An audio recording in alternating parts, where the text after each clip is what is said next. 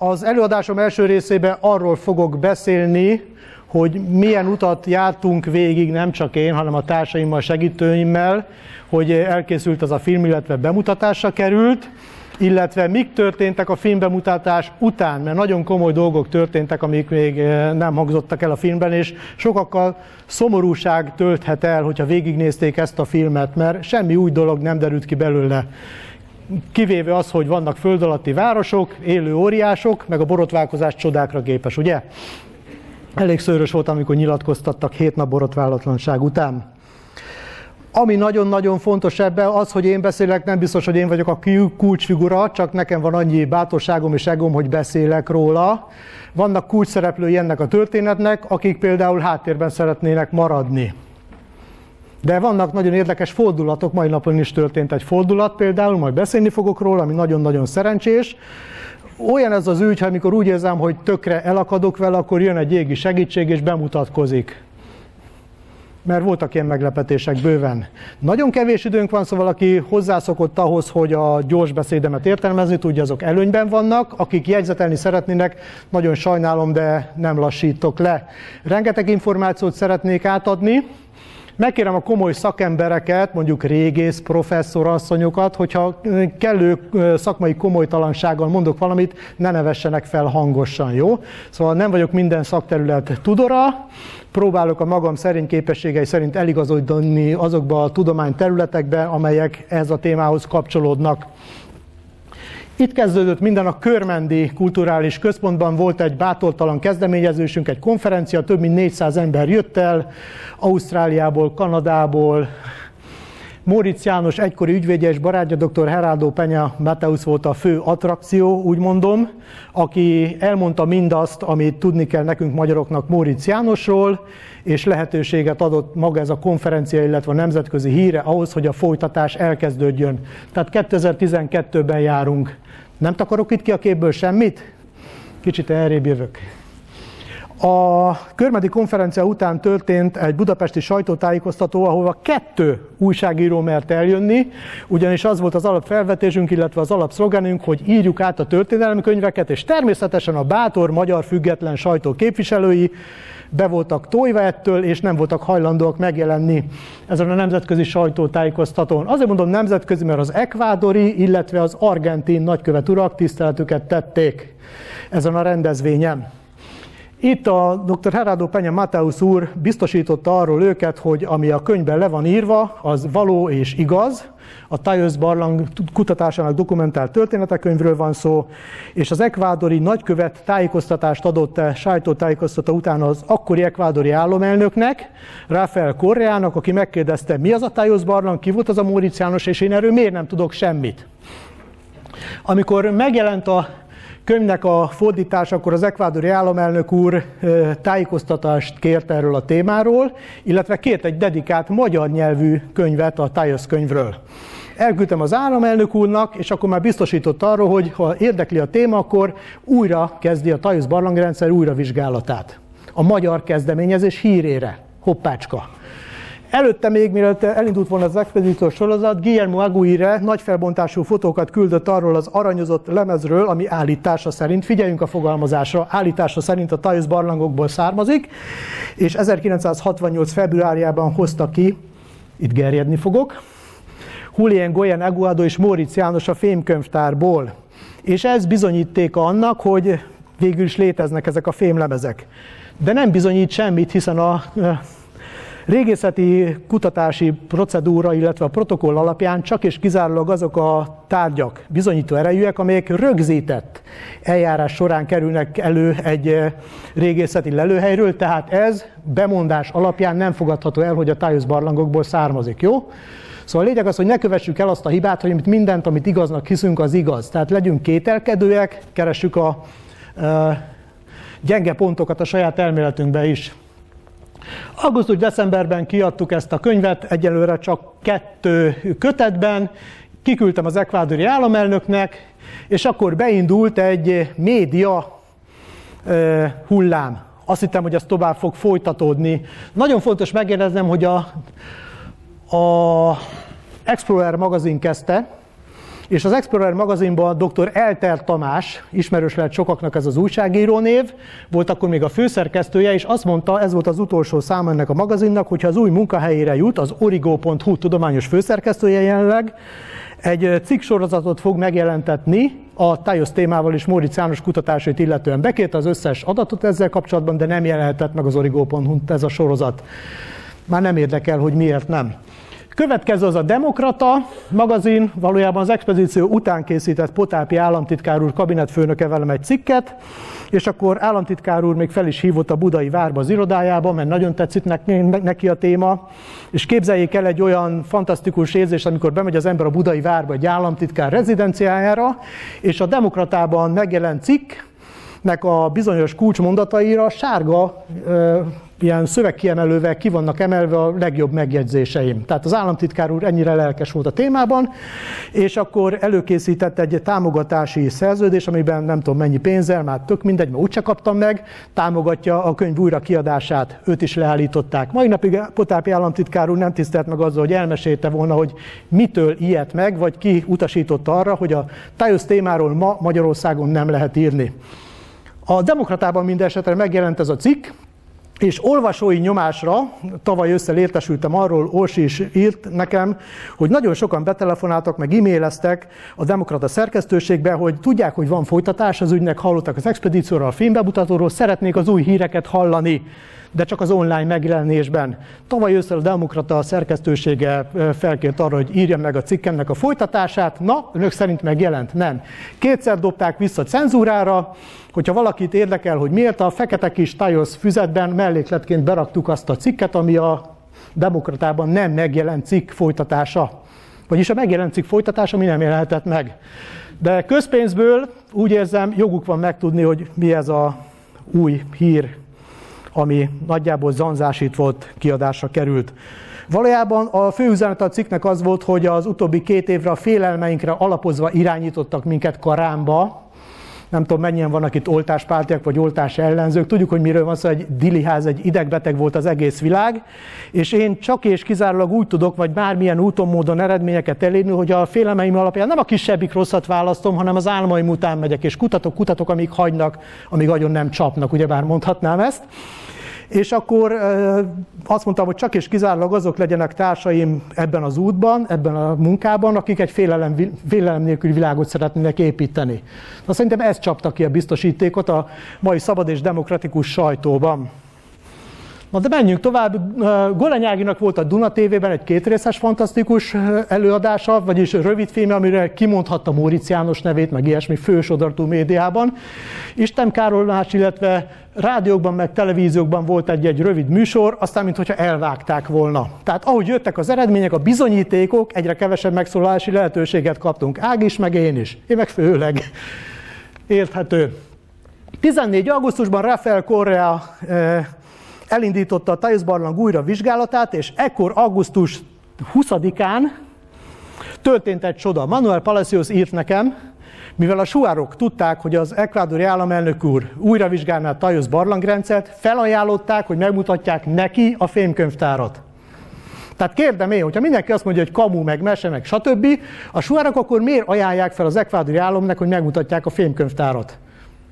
Van egy kis bibi. Úgy történt ez a megmutatás, hogy ugyebár ez egy olyan jellegű tudás, hogy nem mindenki tudhatja meg. Tehát nem úgy, hogy rákattintok a Facebookon, meg a Youtube-on, és megtudom, hogy mi van oda leírva, hanem bizonyos vizsgasorozatokon kell átmenni.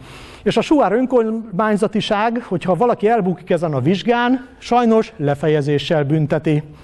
Ebbe valahogy nem ment bele az ekvádori államelnök úr, a történet nagyjából úgy történt, hogy a dzsungel egy megbeszélt szélén terepjáróból kiszállt testőrökkel, kísérve golyóállomellénnyel, és akkor megkérték a suárok, hogy hát államelnök úr, most kb. 16-18 kilométert sétálunk a dzsungelbe, meleg lesz az a golyóállomellény, a testőrei sem kísérhetik el, és felvilágosították arról, hogy ez nem egy olyan múzeumi séta lesz, hanem vizsgasorozatokon kell átmenni, és hogyha nem megy át, akkor lefejezik. Örök szerint belement az ekvádori államelnök? B válasz, nem. Tehát Tudjuk, hogy eh, Korea, vagy Rafael Korea út később korrupciós eh, ügyekbe keveredett. Pont a Tájusz barlangok környékén a dzsungel részt adta ki arany, illetve olajlelőhelyeknek, tehát kínai geológus kutató cégeknek ilyen koncesszióra, és amit kapott pénzt, az a meg lelépett. És bármi hihetetlen, és Ekvádor egy banánköztársaság, ott a korrupciót üldözik. Tehát nem úgy, mint a magyar főügyész, hogy leállítsa a kutatásokat, ott üldözik a politikusokat, jelenleg már megérdemelt börtönbüntetését tölti, de természetesen a pénznek a javarésze mai napig hiányzik az ekvádori költségvetésből.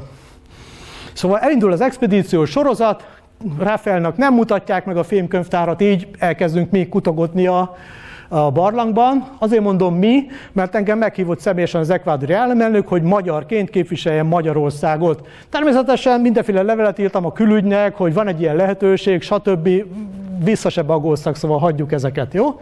De én megtettem azokat a lépéseket, minden ajtón kopogtattam, ahogy Móricz János is mondta a filmben, teljesen süket fülekre talált itt Magyarországon.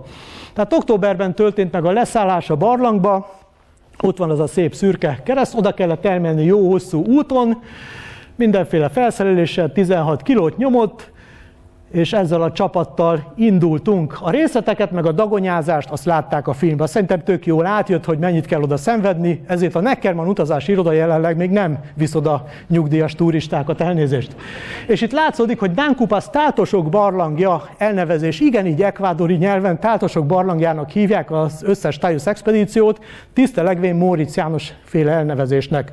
Nankupász pedig az a hegy, amelyből maga a barlang nyílik, 930 méter tengerszint feletti magasságban az a bejáratól mi ereszkedtünk le. Hat bejárata van ennek a barlangrendszernek, ami szabadon látogatható, kettő meg ott már lefejezés jár. Na, autóval indulunk, ez látszódott, itt vízre szálltunk, kenú, ez is látszódott, nem húzom ezzel időt, és itt van ez a közel 40 centis lábnyom, ahol igen, egy iviának, egy élő óriásnak a lábnyomát fényképezzük, ez a videózás, meg ott ki is világították egy részig. Valójában hajnali fél kettőkor ennek a tulajdonosa, vagy egy hasonlóan nagy magas ember besétált a táborba, és távozásra kért az expedíciót az utolsó nap. Úgy volt, hogy délig még lentebédelünk, és utána megyünk, de reggel össze kellett pakolni és elhúzni egy barlangból. Szóval azt kell, hogy mondjam, én részese voltam egy olyan expedíciónak, akit valójában egy élő óriás zavart ki a tájusz barlangból, csak a szépség hibája az, hogy én ezt egészet végig aludtam. És még úgy horkolok, mint a disznó, szóval csoda, hogy ez nem ijesztette el szegény. Szóval besétált egy a táborba, és megkérte a vezetőket, hogy már sokat vagyunk ott, már ne, ne bohóckodjunk. Szóval ilyen dolog történt.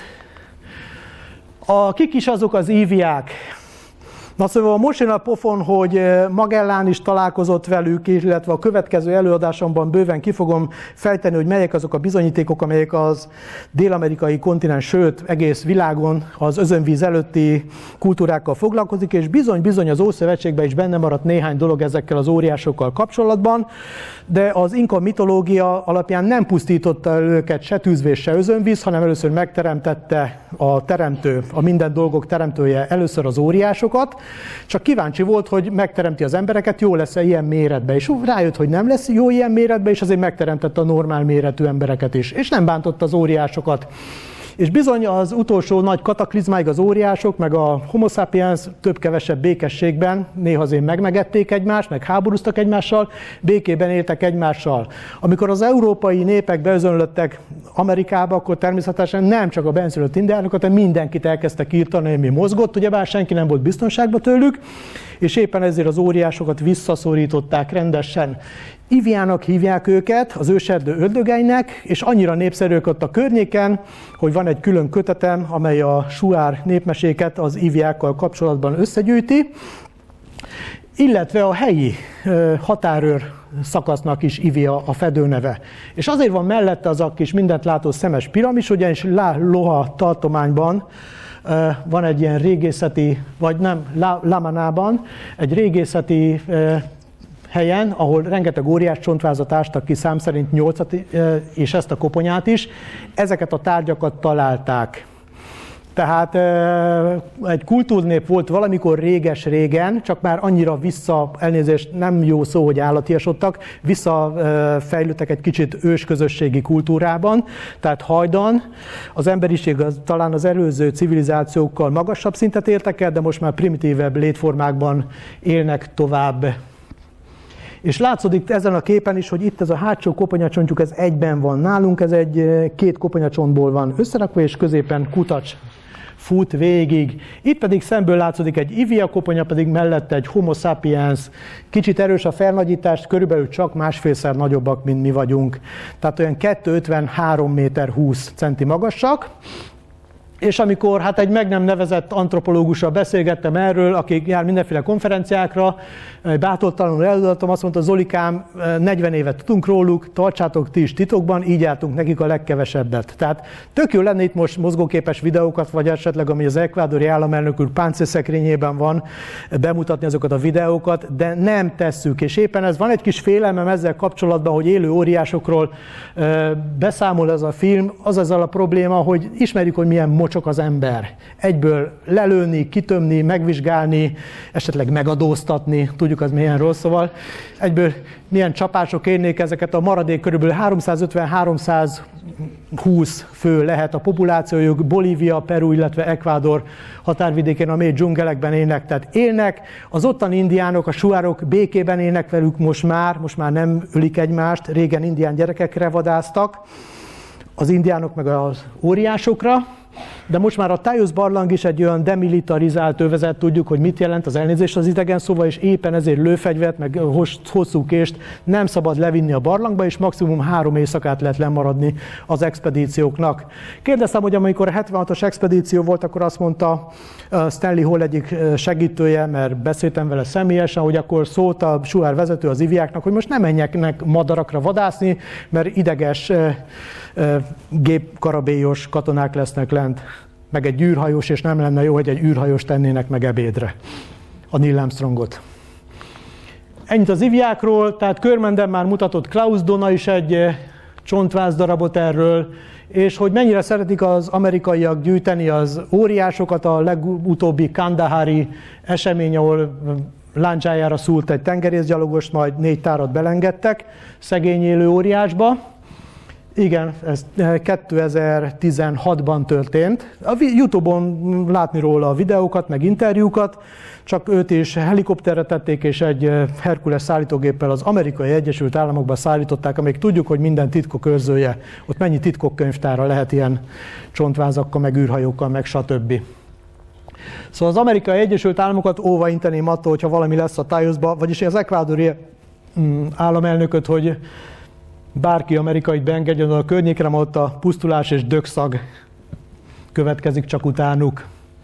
A másik apró, emlékszünk arra a kis lábnyomra a kisitatóba, ugye? Hogy voltak ilyen kis félarasznyi lábnyomok. 2018 májust azért írom ki, mert utánam egy másik magyar illetőségé is lement a Stanley Hall lányával a barlangba, és ő találkozott három ilyen sunkival 2018 májusban.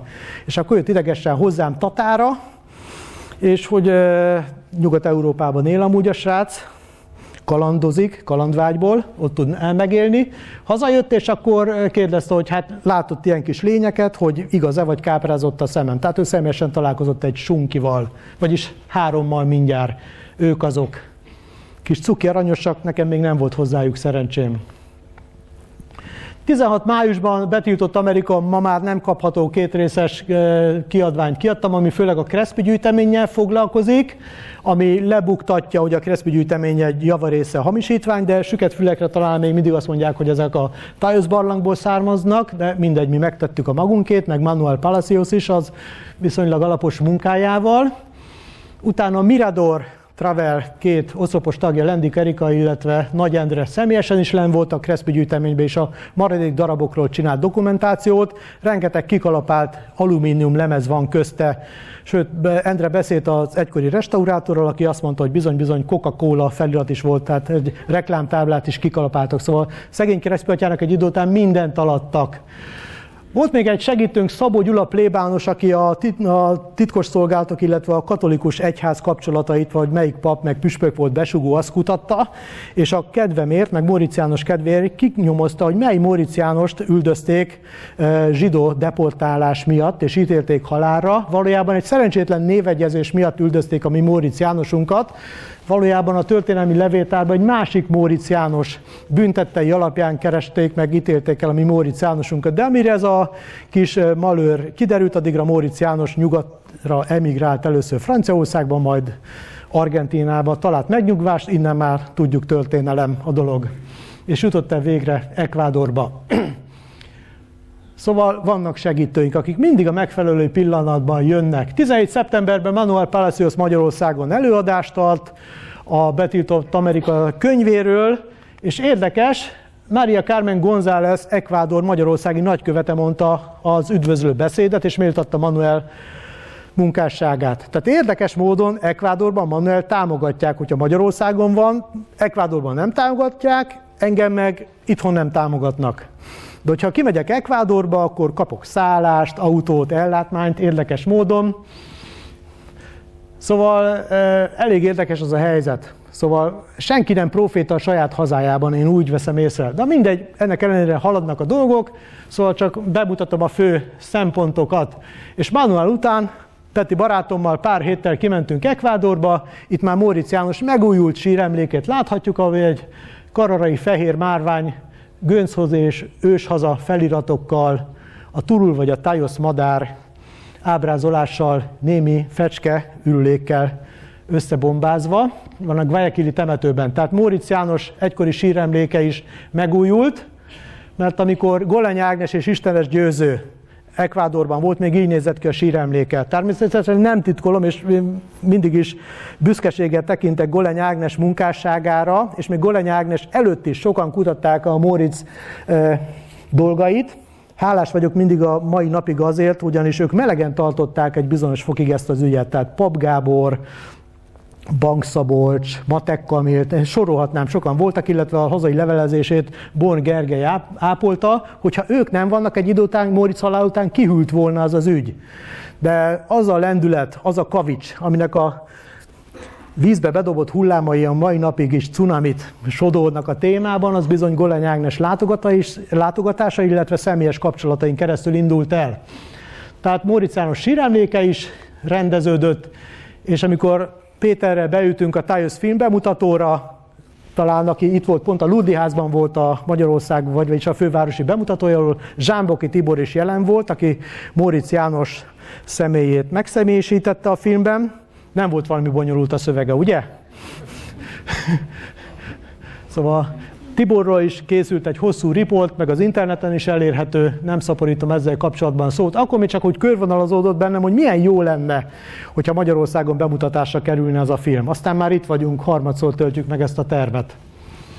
Juan Pablo Torállal és beszélgettünk annak a lehetőségéről, hogy Moritz János kap egy melszobrot Guayaquil városában, ahol elhunyt, egy bizonyos téren, ez még nincs lezárva. Jó lett volna a születésének századik évfordulóján, szóval idén ezt megkoszorúzni, de a magyarországi közöny nem tette lehetővé ezt. Szóval Ekvádorban megvan a hely, a szobrász is, meg a lehetőség, nagyon klassz téren, a Rizzo Hotel melletti főtéren, ahol a nagy felszabadító szobra is van, annak a sarkába lesz majd valamikor elhelyezve Móricz János melszobra lesz és kész. Guayaquilban a Rizzo Hotelben hunyt el Móricz János, és amikor Péterrel rákérdeztünk, hogy jó lenne tudni a helyi aznapi bejegyzésekbe, hogy melyik szobában történt, akkor az igazgató segített az, meg a portás, hogy elmondta, hogy az aznap a halála napján a melyik teremben, melyik szobába jelentkezett be Móricz János, és mondta, hogy sajnálatos módon az a szoba foglalt, de kettővel kaptunk aznap szállást, és két földrengés is volt ugyebár, és másnap reggel, minden reggel 8 és fél 9 között reggeliznek a szoba lakó, és így rám kacsintott, és akkor van szobaszerviz. Tehát ez felkérés volt tánc, hogy akkor bemetünk a szobába fényképezni, nem hivatalosan. Tehát ez a fénykép nem hivatalosan készült, itt halt meg Moritz János a zuhanyzó, illetve az ágya között összeesve, 14 óra 45 perckor állítottak meg a, állapították meg a halálának az idejét, és amikor bejött egy néger hölgy, egy idősebb néger hölgy takarító kocsit tolva, akkor finoman oda mentünk hozzá, hogy elnézést, Peti beszélt hozzá, mert én nem beszélek spanyolul, hogy hát itt meghalt egy honfitársunk, Móricz János, stb. és állítólag ebbe a szobába. És mit mond a hölgy erre? Igen, az volt az első napom gyakornokként, emlékszem az esetre. Tehát aki ott volt első nap, és látta Móricz Jánost a földön sajnos meghalva, mert gyakornok volt akkor, ő engedett be a szobába. Tehát eddig nem volt meg a szobaszám, de jó Isten megint ugyebár küldte az információt számunkra. Tehát így működik az univerzum, hogyha jó úton jár az ember. Moritz Jánost valószínűleg folyamatosan mérgezték. Kérem szépen, most már tudható, hogy olyan növényi mérgekkel, ami teljesen a úgymond az elektrit, elektrolit rendszerét a vérének tönkrevágta, illetve egy kiszáradás, illetve szívinfarktusos problémákat, tüneteket okozott, és mivel belül volt a kulcs, így az ügyvéd úr nem boncoltatta föl, hiszen idegenkezőségnek a gyanúja nem merült fel.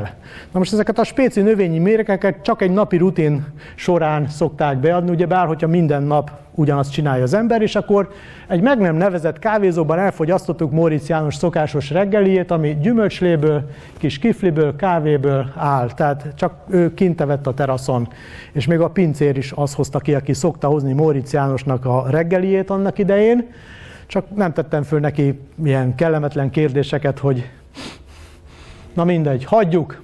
Nem akarok én nyomulni meg bizonyítékok hiányában, itt főleg elhalálozott emberek személyét felemlegetni. Történt, ami történt, ez nem változtat a feladatunkon.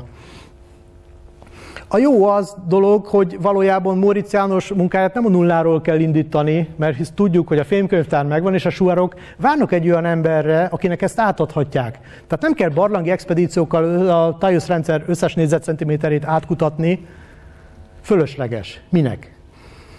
Egy olyan lehetőséget kellene teremtetni globálisan, hogy az emberiség használni tudja ezt az információt, és ez lesz a nehezebb és a keményebb munka, főleg mostanában Novemberben volt egy szakmai bemutatója a filmnek, én személyesen akkor már hazautaztunk, és akkor már jött egy SMS a Theophilus Turkeridis professzortól, hogy elnézést kér, hogy ő hazugnak és csalónak nevezte Móricz Jánost. Ő az, aki a Móricz kaput elnevezését elvenné tőle, hiszen több kárt okozott Móricz János, mint hasznot a témának.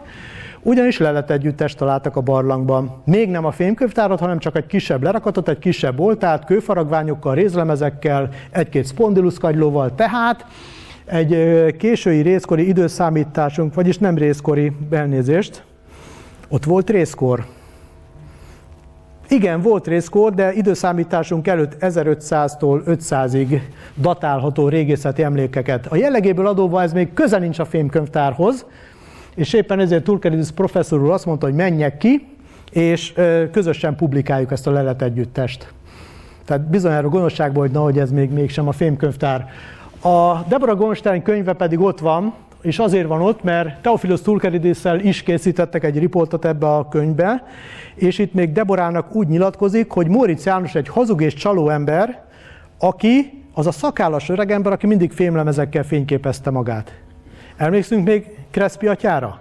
Tehát annyira nem tudta ez a professzor, hogy ki a Móricz és ki a Crespi, hogy Crespi atyának hitte Móricz János. Tehát azonosította, hogy ez hazug csaló. Most már másképpen látja az esetet, elnézést kért, hogy csalónak nevezte Jánost, és további támogatást kért az ekvádori államelnöktől a Tajus barlangrendszer kutatására. Tehát megtört a jég. Tehát, hogyha valaki úgy megy el a film után, hogy a expedíció vezetője és csalónak nevezte Móricz, ő erről még nem tudott. Tehát ez azóta történt. 19 novemberében itt van egy magyar zászló az ekvádori magyar nagykövetségen. Kötelességemnek éreztem, hogy beszámolok Manuel Palaciosszal kalöltve az eddigi letett eredményekről, összefüggésekről. Manuel kapta a munka komolyabb részét, én meg a lazábbat. És a beszélgetés végét én úgy zártam, hogy vannak olyan kulturális közös gyökerek, amit János megtalált, és úgy érzem, hogy ha a diplomácia építeni akar, akkor ezekre a kulturális gyökerekre bátran építhet hidat értjük vizuálisan, aki pedig a zavarkeltésben érdekelt, akkor ezeket a kulturális több ezer éves kapcsolatokat letagadja, lehazudja. Manuel átadja nagykövet asszonynak, Bucsiné Szabó Editnek, nevezzük így nevén, bátor nemzeti harcosunknak, ezt a könyvet, amiben 16 oldalon keresztül táblázatban hozza azokat a szavakat, amelyek magyar eredetivel megegyeznek, magyarul értelmezhetőek, és kint Dél-Amerikában is ugyanazt jelentik. Tehát magyarul értelmezhető magyar szavak, úgymond melyik azok a magyar szavak, amit a dél-amerikai indiának a mai napig élő nyelvként használnak. Két nap múlva megkaptuk a hivatalos választ mindenre reagálva, gondolom nemzeti érzelemtől túlfültve, azt sem említsük, hogy ott voltunk. Tehát ennyit ma a magyar diplomáciáról. Tehát miben érdekeltek a zavarkeltésben? Legalábbis szerény véleményem szerint a magyar diplomácia nincs arra kihegyezve, hogy a több ezer éves, esetleg közös, kulturális, az egész emberiséget érintő kapcsolatrendszerről tudomást szerezzen, vagy esetleg támogatja, vagy felfigyeljen rá. Tehát azt sem említsük, hogy ott voltunk. Értjük a választ, ugye? Akkor jönnek azok a hülyeségek, amik hozzá tapadtak, ugyebár Móricz János kutatásaihoz, főleg az, hogy folyamatosan beszélt magyarul indiánokkal, ez baromság, de több mint 300 szó van, ami magyarul értelmezhető a dél-amerika indiánok nyelvében. Ezt Móricz János egyetlen 16 oldalas kis füzetében fejtette ki ennek az okát, ahol még az európai népek amerikai eredetét fitoktatta, tehát mintha onnan származtunk volna. Mi, pedig a migráció, vagyis a vándorlás az fordított irányú volt, ez már köztudott, és meg is van az a nyelvészeti kapcsolat, ahol a mi úgynevezett lengyeli kultúránkkal párhuzamosan fejlődött kaliforniai indiánok, az úgynevezett windmiller kultúra, szintén egy részkori kultúra, amely temetkezésben, építkezésben is végül folytonos kapcsolatot mutatott fel Szibérián keresztül a törzsekkel, és ezekben a kaliforniai szavakban megtaláltak azok a magyar gyökerű szavak. Érdekes, hogy Pitkin és társai 84-től 86-ig nagyon komoly kaliforniai nyelvészek voltak, akik 14 lexikóban összesítették a kaliforniai nyelveket, a Vintu, Penutian és stb. És 320 olyan szó akadt, amely magyarul értelmezhető. De van benne egy-két kis érdekesség, egyet mondok, lopótök. A kaliforniai indiánok hogy nevezik a lopótököt? Lopótöknek így mert elmentek egy borászatba, megkérdezték egy vindu indiánt, hogy ez hogy nevezett, és úgy nevezte, hogy lopótök. De ennek mi az oka? Kaliforniai borászatot magyarok indították be.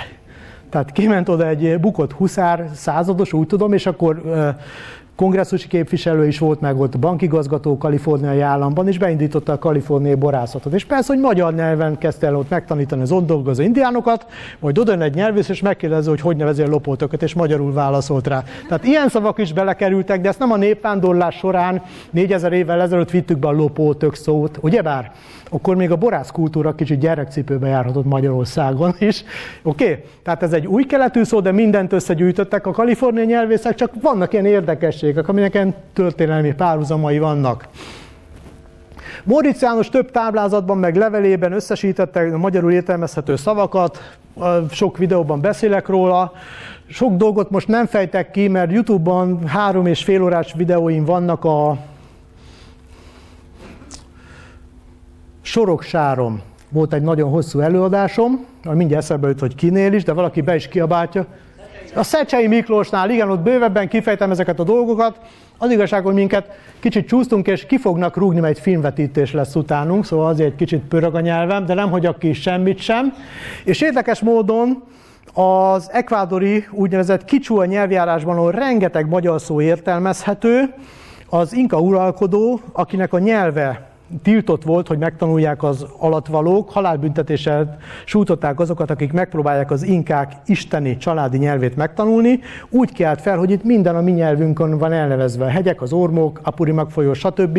Ezek mind-mind magyarul értelmezhetőek. Például van egy nagyon kellemes termálfüldőhely, Papallakta, ugyebár ismerős lehet, ahol a papák lakták, az egykori ősök lakhelye, ez az egy, egykori kicsú elnevezése, papa lakta. Papák lakták, magyarul értelmezhető, és mai napig így van kiírva a táblákra. Tehát ezek azok a szavak, amik az ősi inkák is az Istenek nyelvén nevezték erről beszéltem. Milyen jó itt eltőzni, tehát elindul az ember mondjuk jeges esőben, plusz 6 fokban, utána tűző nap, utána darabokban hámlik a bőre, annyira leég, és kis kolibrik röpködnek a feje körül. Tehát egy zseniális hely, ide visszavágyom. Kijön, klassz hely, nagyon jó, szóval megéri. Ekvádor gyönyörű, az emberek imádnivalóak, 16%-os az áfa, a benzin harmad ennyibe kerül, mi kell még? Van banán. Érdekes módon Magyarországon kívül már mindenki úgy tudja, hogy valójában a Kárpát-medencéből, a Duna medencéjéből indulnak elő, hát csúnya ez az indo-európai nyelvcsalád, ugyebár kifejezés, nem mindenki érti a magyar nyelvre, de valójában több ezer évvel ezelőtt innen alakultak ki a nyelvek, és látjuk, ott van az a hármas nyíl a Finnország felé, ott ott fölfele mutat a nyíl, szóval nem lefele mutat, mert akkor lenne finnugor gyökerű a nyelvünk. Valójában a finnugor kapcsolat létezhet, csak a finnugorok is, finnek is tőlünk tanulták ezt a nyelvet. Szóval megint a nacionalizmussal nem szeretnék egy kicsit elszállni, de hogyha Pennsylvániában már így tanítják a nyelvészeti fakultáson, akkor lehet, hogy meg kéne említeni már a magyar tankönyvekbe is ezt a kis apróságot. Itt pedig időrendileg milyen jó ez a nagy monitor, látszódik, hogy a, a Duna folyó völgyéből 5000 évvel ezelőtt elindulnak a nyelvek, anatóliai fensíkra, majd kialakul 4000 évben Hungary, látjuk azt, miköze a hunokhoz, nem tudom, szóval lényeg az, hogy ez a nyelv itt alakult ki, innen áramlott ki, szóval ezek a kapcsolatok, ahol már mindenki itt tanítja szinte a világban, csak mi nem, miért nem merjük, érdekes módon. Mi tapossuk ezeket az elméleteket, szóval már mindenhol lehet erről beszélni, csak Magyarországon nem. Fotózzák nyugodtan meg, hozzá juthatnak ezekhez a dianyagokhoz a Facebook oldalon. Lapoznék, jó? Van egy érdekes dolog az UFO-k és Móricz János, ami először Zeller Rihád kiváló könyvében jelent meg, az Üzenet az Istenektől, vagy Móricz János legendáriumának a nyomában. Zeller Rihád alapvetően egy jogászember és rendkívül szkeptikus, és onnan közelítette meg a dolgot, hogy logika, matematika, valószínűségszámítás, szóval nagyon egy racionális ember. Sosem tagadta az, hogy Móricz Jánosnak ne lett volna alapvetően igaza, illetve nem állította sohasem, hogy Móricz János hazug lett volna. Itt az a kérdés van kihegyezve, hogy mi a fenét keresnek földön kívüliek a Tájusz barlang alatt, ugyanis Nádorfi Lajos, kiváló operatőr, aki a magyarok 5000-es csúcsokon expedíciós sorozat operatőre volt a 80-as években, amikor ekvádori expedícióba mentek, és elkallódott a vámolásnál a konténerek, akkor Moritz János segített nekik a vámolásba, és meghívta a Csimboradzó megmászása után a kumbaradzai birtokukra, és akkor a kumbaradzai birtokon a bárpult mögött volt egy ufos plakát, ráírva, hogy visszatérünk. Ez először Zeller Rihát könyvében jelent meg, a Magyar Menedék kiadónál elérhető Márvány utca 48 Budapest. Ez a résztermék megjelenítést tartalmazott. Na szóval, Zeleriát meg Nádorfi Lajos is szóban mondta, hogy igen, Móricz János azt említette neki Kumbaradzában, hogy igen, annyi köze van az ufoknak, hogy a tájosz alatt két résszel ő beleütközött egy föld alatti bázisba, ahol magyarul beszélt földön kívüliekkel. Ismerjük Dombovári Gábort, ugye? Ő csinált velünk egy kétrészes riportot, másfél órát, 45-45 perccel, ahol Zeleri Hád volt, Nádorfi Lajos, meg még kette-hárman beszélgettünk Móricz ügyről, és ez így elhangzott. Mai napig dobozban van az a felvétel, tehát nem lehet kiadni. Nem tudom miért, megint kiket érint, meg kinek fáj.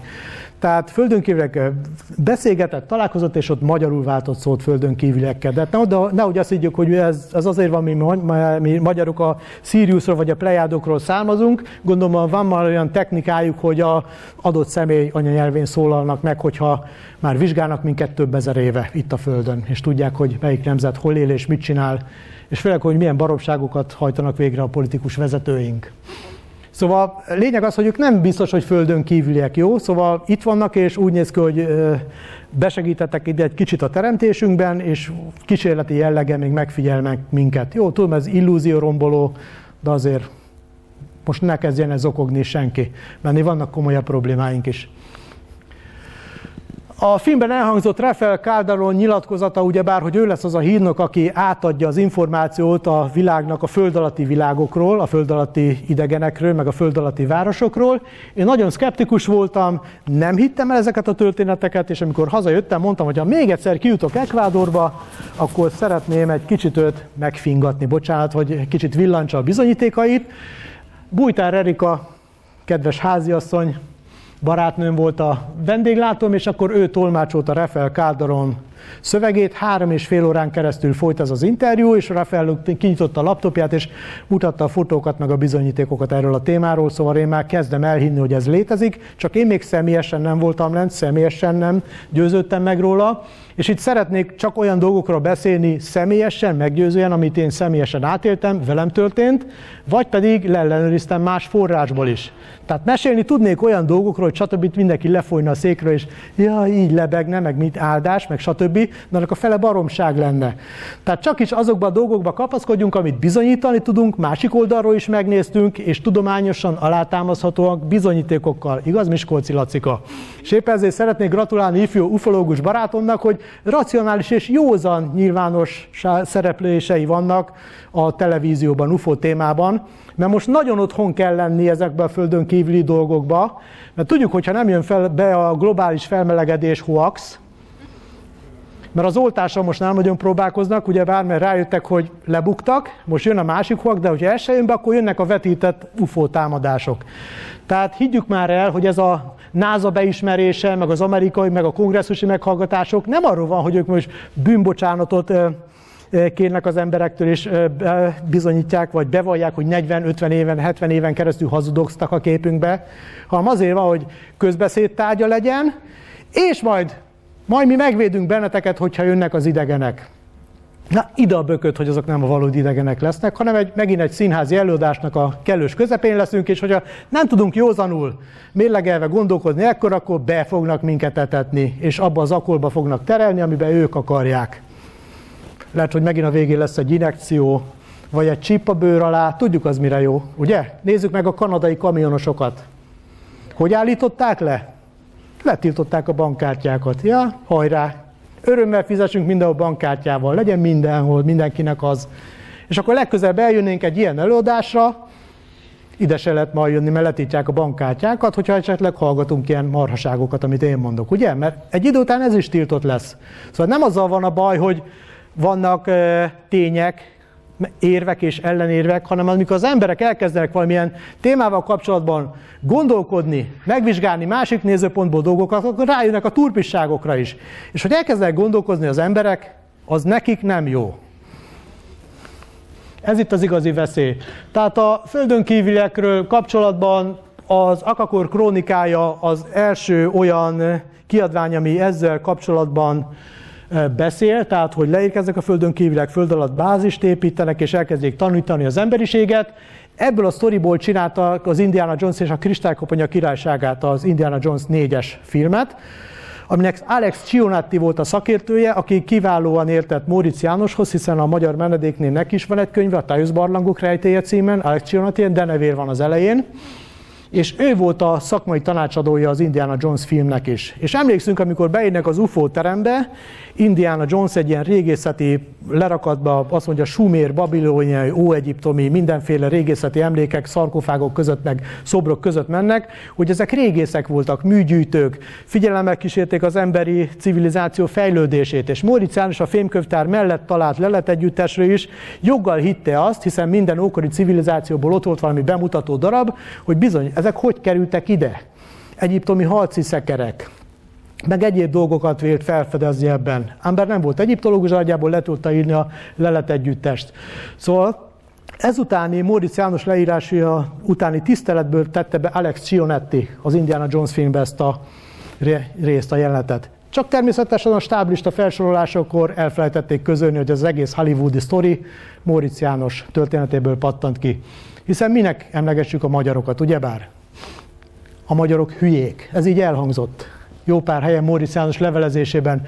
Földön kívüliek, Dél-Peru, Miskolci Laci kenyérét nem szeretném elvinni, de azért a mostani lelet, amit tegnap-tegnap előtt mutattak be a híradókba, a mexikói ufológus, amit mutatott, az lehet ugye a hamisítvány, de a perui nagy nagyobb termetű múmiák, azok bizony eredetiek lehetnek, mert ezeket is átröngenezték, van DNS vizsgálat, látjuk, hogy 98,5 százalék, tehát távolabb áll az embertől genetikailag, mint maga a csimpánz. Mindezek ellenére legyünk szkeptikusak, ez is egy értékes történet. Vannak olyan puzzle darabok, amiket kirakhatunk a képbe, de azért összefüggéseiben vizsgáljuk, és mindig legyünk kételkedőek. Tehát ne csak és kizárólag azokat az bizonyítékokat vizsgáljunk, amik minket igazolnak. Ásványtan professzorom, egykori főnököm, már nyugdíjban dr. Weisburg Tamás azt mondta, Zolikám, egy dologra figyelj, találsz öt dolgot egy témában, és abból három tégezig igazol, kettő meg nem. Először azt a kettőt vizsgáld. Azért, mert az segít másképpen tekinteni a dolgokra, segít más hangsúlyos kérdéseket feltenni, vagy úgy fogalmazni az állításaidat, hogy azokra is igaz legyen. És ne ragaszkodj az eredeti elképzelésedhez, mindig legyél fogékony az újabbra, és mindig az új információkat kellő kritikával így lesz be az egész képbe. Hogyha ez a puzzle darab nem odavaló, minden játszottunk puzzle ugye? és nem odavaló, és ütjük, vágjuk, akkor se illeszkedik be. Tehát egy tosz képet akarunk összerakni az ős történelemből, meg az egész történelmünkből, vagy egy valós képet. Ez nagyon fontos. első és legfontosabb az önkritika. Szóval ne egy előzetes képpel, egy prekoncepcióval indulunk, és csak azokat az eredményeket tartjuk igaznak, ami minket igazol. Ez egy hatalmas csapda. Rengeteg ember áll, nagy magyarkodók, pilis kutatók, ősmagyarság kutatók, mindebbe buknak bele nem illeszhető bele, mert nagyon bele akarják oda nyomni ezt a puzzle darabot, ahol nem illik. Vannak persze a latinamerikai ufókkal kapcsolatban hamisító iparok. Jalisco államban 17-ben elkezdték valódi régészeti leletek közül kiásni ezeket, de sajnos erre egy hamisítás ipar épült azóta. Tehát legyünk kritikusak minden ilyennel kapcsolatban, főleg ez szenzáció, 15 perc hírnévre fantasztikus, de másra nem. Hát amikor az ember azt hiszi, hogy vége a bulinak és nem érheti új információ, akkor Varga László Jenő bekopogtat a Tatai Geológus Kert szolgálati lakásába, és keresi Varga Zoltánt, majd közli vele, hogy hát kedves Zoltán, van itt az ön számára valami. Mondom, de mi? Igazolta magát ekvádori okmányokkal, kérdeztem egy-két keresztkérdést, és hát ő Móricz János kollégája volt Cellár Zoltánnal, 1982-ben került ki, a Kuni Domonkos Múzeum állományában volt tatai múzeológusként beegyezve, de egy percet nem dolgozott Tatán, ott kulturális antropológusként Boglár László küldte ki a Magyar Tudományos Akadémiától, miután Móricz Jánostól kapott egy levelet, hogy itt van néhány etnográfiai dolog, segítenék esetleg egy-két magyar kutatónak itt kutatómunkát adni, és Varga László Jenő kiment, Móricz János 82-től. És akkor Varga László Jenő mondott egy-két dolgot. Cellár Zoltán, Stan Gritz, Móricz János halála után sajnálatos módon Cellár Zoltán kiadta a Varga László Jenő és Móricz János páncélszekrényének azon tartalmát, Stan Gritznek, amely a régi inkák által megtalált, illetve kibányászott aranybányáknak a leírásai voltak, illetve a jezsuita rend újra nyitotta ezeket a bányákat bizonyos személyes okokból, és azoknak a levelezését és leírásait. Stan Gritz ezt 67 dollárra az interneten mai napig árulja. Tehát ez Móricz János, illetve Varga László Jenő, illetve Cellár Zoltán gyűjteménye volt. Csak ezt Stan Gritz 67 dollárért árulja, de én szívesen odadom. Nálam is elérhető. És lényeg az, hogy a jezsuita történet, hogy eh, Varga László Jenő, tehát számomra egy nagyon érdekes arc, ugyebár ezt beszélgettük, hogy aki ismerte személyesen, hogy eléggé eh, összetett személyiség, fogalmazzunk így. Móricz János halál után hazajött, és ő azzal keresett meg engem, hogy hát Varga Zoltán ő lesz a úgymondott kiválasztott. De mondom, miről van szó? Tehát Móricz János úgy végrendelkezett, hogy ha valaki folytatja a kutatásait valamilyen szinten, és Varga László Jenő szerint ez én voltam, akkor az újra nyithatja a kumbaradzai aranybányát, ugyanis János végrendeletében az szerepel, hogy ezt az aranybányát meghagyta, és hogyha valaki kellő lelkesedéssel küzd a világhatalmi csűr ellen, a Móricz János igazát tovább kutatva, ütve az asztalt, akkor ennek az aranybányának a bevételeiből szponzorálta a kutatásokat. Tehát mondom, ez nagyon szuper, de ez engem nem érdekel. Jobb is, hogy nem érdekelt, mert mint kiderült, Ekvádorban 94 májusban a Kumbaradzai aranybányát egy ügyvéd kijátszott a japán bányatársaságoknak. Szóval érdekes dolog ez a mérgezés, meg ez a haláleset. Fogalmazunk így, hogy egy ügyvéd. És miért kezd el kacifántos lenni a történet? A jezsuitákat tudjuk, hogy 1768-ban kiűzték Dél-Amerikából mindenféle szervezkedés miatt. Tehát a spanyol, illetve a portugál korona irányította a Latin Amerikát, vagyis a dél-amerikai részeket, mert Latin Amerikát teljesen nem, ott már belepiszkítottak, ugye bár mások is. Szóval a spanyol és portugál korona irányításával, de igazából a Vatikán a jezsuitákon keresztül, a jezsuiták eh, településein keresztül valójában saját önkormányzatiságot alakítottak ki, ahol már nem volt a koronának beleszólása. Olyan szinten, hogy önállátó gazdaságok voltak, bányatársaságok, kézművesiparok, dolgoztatták az indiánokat, a benszülötteket ezekben a településeken, telepeken, ezért kaptak némi fizetést és ellátást, illetve oktatást a gyermekeik, természetesen jó keresztény oktatást. Miután kiítottuk a fél kontinens, vagy a három negyedet persze, meg kell nekik tanítani a kereszténység alapjait, hiszen ezen szeretet nevében írtottunk ki 40 millió indiánt. Ennek a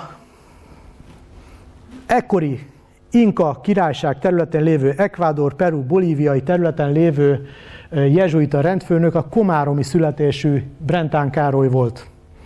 És ő gyűjtötte be azokat az adatokat, hogy hol működtek ezek, főleg Ekvádorban, meg Peruban aranybányák, főleg dzsungel területen, főleg mosással gyűjtötték az aranyat.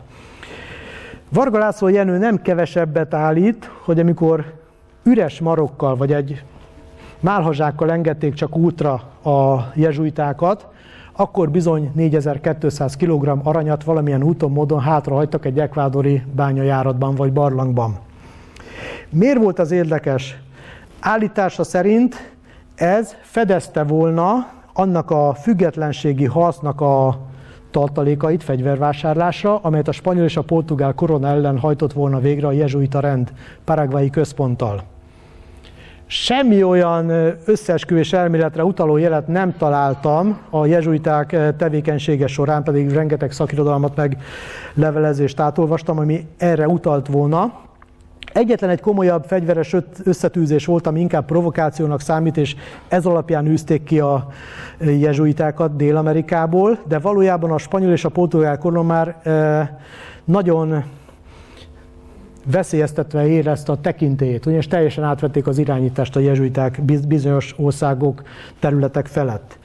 És a jezsuiták valójában azért fegyverezték fel az indiánokat, meg saját magukat, mert ezekre a jezsuita telepekre a rabszolga vadászok vadáztak, és onnan indiánokat szakítottak el százas vagy akár ezres nagyságrendbe, és adták el rabszolgapiacon. És éppen ezért önvédelem miatt fegyverkeztek, ezért számomra egy kicsit hihetetlennek tűnt ez a történet, hogy 4200 kg arany, és le is rajzolt, hogy hogy néztek ki ezek a kis zsákok, és hogy állítólag ez Móricz János megtalálta egy barlangjáratba, és üzent a Vatikánba. És így a Vatikánnak sem nagyon tetszett az az ötlet, mert végül is én is azt üzentem a Vatikánnak, hogy megkereshetik ők ezt az aranyat, stb., de akkor ezt ne felejtsük el, hogy ez az ekvádori állam tulajdona, és hogyha a Vatikán ott esetleg bármit akar tenni, akkor először is jezsuita pápánk van jelenleg, Argentinából származik. Micsoda nemes gesztus lenne, hogy bocsánatot kérnének az indián népírtásért.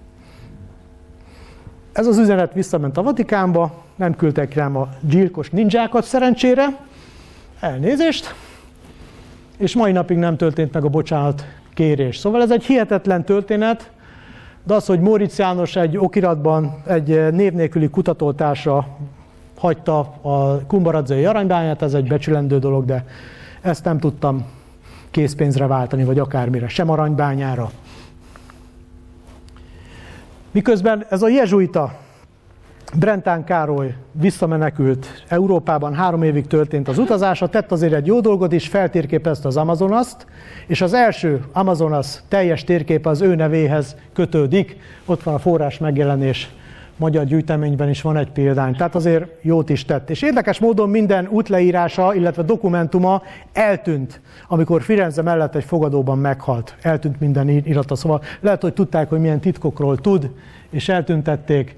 Érdekes, hogy a Tatai Kuni Domokos Múzeumban Móricz János hazaküldött 18 tárgyat, nem a filmkönyvtárból, hanem saját kis gyűjteményéből, Varga László Jenőn keresztül, és ez, ezekben a dobozokban van berakva, és így köszönöm meg a Kuni Domokos Múzeum kollégáinak, hogy lehetővé tették, hogy kézbe vegyem, illetve lefotózzak párat. Természetesen a teljes fotógyűjtemény megtekinthető nálam, illetve maga a gyűjtemény nem tekinthető meg, mert jelenleg a Német Nemzetiségi Múzeum raktárában vannak, de vannak ilyen kis szépek.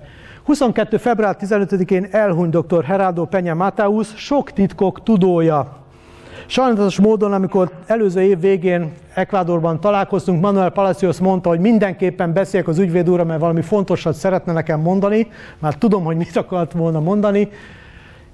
Ő már tudta, hogy én tudok a végrendeletéről, amit ő letagadott, hogy van, ám bár a Körmedi konferencián 2012-ben, amikor a főnap a megnyitó előtt egy vacsorai beszélgetésen ő mondta, hogy mintha tudna, mintha Móricz János beszélt volna egy olyan végrendeletről, hogy valamilyen úton, módon lehetne támogatni a kutatásokat egy aranybánya bevételeiből, vagy a koncepciós díjaiból, az úgy elsiklott a fülem mellett, de az úgy visszaidéződött, amikor ezt Varga László Jenő ezt nekem bemutatta, illetve az aranybánya leírásait, magát a koncepciós szerződést és egyes bánya járatokban ilyen kis lefóliázott aranyminták voltak hogy mi micsoda, de geológus lévén engem nem lehet átverni, azok tényleg aranyminták voltak, és egy legális bánya leírások.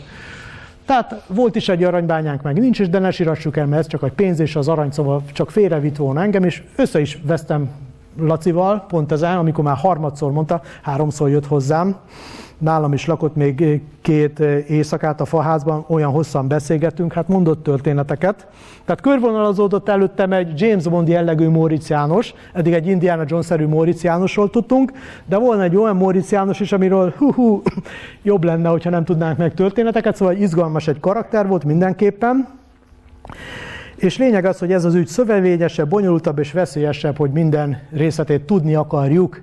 És hogyha valaki nagyon mélyen bele akarna ebbe menni, akkor először keressen meg és beszélgessünk el egy kávé mellett, hogy kellően el tudjam riasztani ettől az ötletétől. Argentinában történt egy kis bemutató, ugyebár Móricz János századik évfordulójára, ami a fantasztikus argentin Gustavo Fernández szervez, és most jön a kés a szívbe, viszonylag csekély érdeklődés mellett, csak az a probléma ezzel, hogy az argentin csoportot innen irányítják. Kinagyítom, hogy a bejárat fölött milyen jelkép van. Ezt meg Manuel mondta. Jó? De ne lepődjünk meg semmi, a világ nem fekete és nem fehér. Úgy néz ki, hogy ez a csoport kivette a nem mondom, hogy eddig sem volt a kezemben az irányítás. Tehát én nem vagyok kulcsfigura, de hogyha ott tudok lenni, hogy történnek az események, akkor ott leszek, illetve hogyha nem történnek események, akkor meg bekopog az illető. És akkor elmondja, hogy hogyan is tovább. Itt van némi információ, a huamoris.hu honlapra nem sokára fel lesz töltve egy csomó információ, ugyanis a TAIOS oldalt, azt a Facebook oldalt valószínűleg egy idő után meg fogom szüntetni, ugyanis ez a fajta kommentelés, meg lájkolgatás nekem kevés. Tehát megmondom őszintén, nekem szükség volna csak egy 50 ember, aki komolyabb szinten megosztja az információt bizonyos fórumokon, illetve besegít abba, hogy majd segít fordítani bizonyos könyveket, stb. Az, hogy mennyi munka van, meg hogy milyen kapcsolódó dolgok ezzel a témával kapcsolatban, az előadásom következő részében fogom elmondani. Jó?